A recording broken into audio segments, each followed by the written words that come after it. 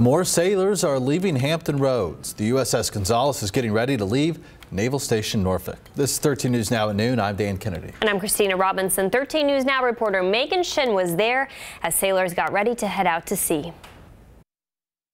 Families like Alexis Elders are saying farewell to sailors on board USS Gonzalez. Actually, that's him there.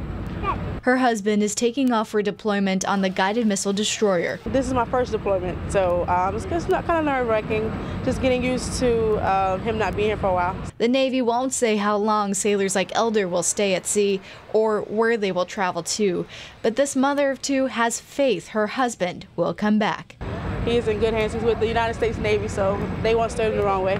Captain Christopher Schwartz is the commanding officer of the ship. I'm excited for our team, our crew. We've uh, worked really hard uh, to prepare for this, and uh, and uh, we're ready to go, ready to answer our nation's call. He says all sailors are ready to conduct ballistic missile defense operations while at sea. The ship is traveling independently, but it is part of Strike Group 12. Out of 300 Navy men and women on board, about 60% of them are deploying for the first time.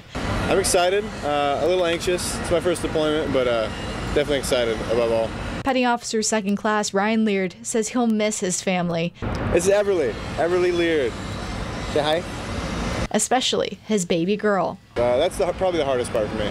But he's saying goodbye like many loved ones, looking forward to a quick return. He's coming back, so we don't say the goodbyes. You know, we'll see you.